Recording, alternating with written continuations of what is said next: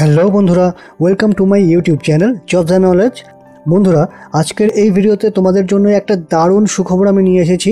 Kolkata municipal service কমিশনের পক্ষ থেকে কনজারভেন্সি মজদুর পদের জন্য আটশো আটান্নটা পদের যে ভ্যাকান্সি বেরিয়েছিল এবং তোমরা যারা এই পদের জন্য আবেদন করেছিলে, তারা অনেকেই কিন্তু আগের দুটো ভিডিওতে প্রচুর তোমরা কমেন্ট করেছ যে তোমাদের নাম কিন্তু ফেজ ওয়ানের যে লিস্ট বার হয়েছিল, সেখানে কিন্তু তোমাদের নাম নেই।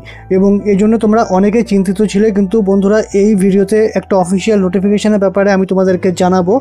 এই ভ্যাকান্সির ব্যাপারে যে, যেখানে বলা হয়েছে, তোমরা সঠিকভাবে যারা যারা আবেদনটা করেছিলে, তাদের প্রত্যেকের নাম কিন্তু এই ইন্টারভিউ লিস্টে থাকবে।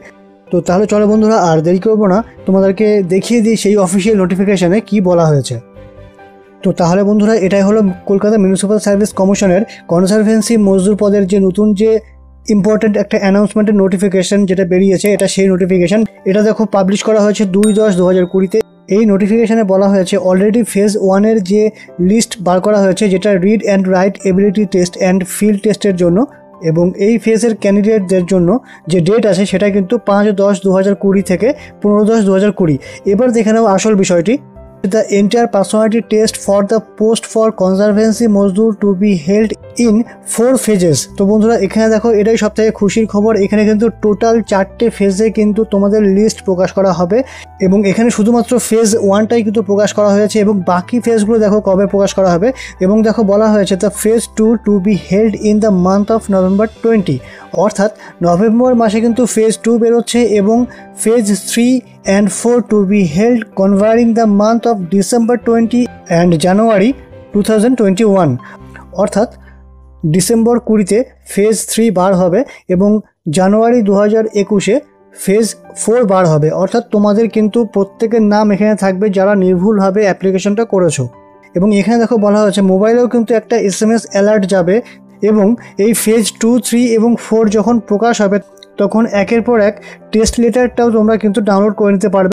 এবং এখানে দেখো বলা হয়েছে candidates R here by inform that whose names are not covered in the list of phase one will be available in our office website in the subsequent phases as per above programme schedule তাহলে দেখো বন্ধুরা, এখানে কিন্তু পরিষ্কার করে, স্পষ্ট করে বলে দেওয়াই হয়েছে যে যাদের নাম ফেজ ওয়ানে থাকবে না, তারা কিন্তু অপেক্ষা করো ফেজ টু থ্রি এবং ফোরের জন্য, সেখানে কিন্তু তোমাদের নাম অবশ্যই থাকবে।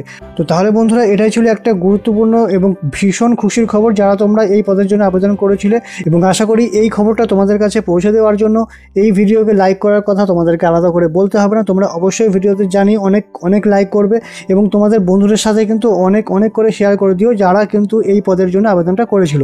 তারাও কিন্তু অনেকে চিন্তায় আছে যে তাদের নাম কেন ফেজ ওয়ানে আসেনি। তো তাহলে বন্ধুরা, আশা করি এই ভিডিওটা তোমাদের পক্ষে অনেকটাই হেল্পফুল হবে এবং এই ধরনের সমস্ত চাকরির খবর এবং আপডেট পেতে এবং চাকরি সংক্রান্ত বিভিন্ন রিজনিং এবং জিকে এবং জিআই ক্লাসগুলো পেতে জবস অ্যান্ড নলেজ ইউটিউব চ্যানেলকে অবশ্যই সাবস্ক্রাইব করে রাখো এবং বেল আইকনটা প্রেস করতে কিন্তু ভুলো না।